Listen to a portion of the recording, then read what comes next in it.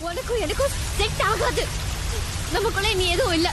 இனிமே என்ன பார்க்கணும்னு நினைக்கிறது பேசுறது எஸ்எம்எஸ் பண்றது போன் பண்றது இதெல்லாம் எதுவும் வச்சுக்காத.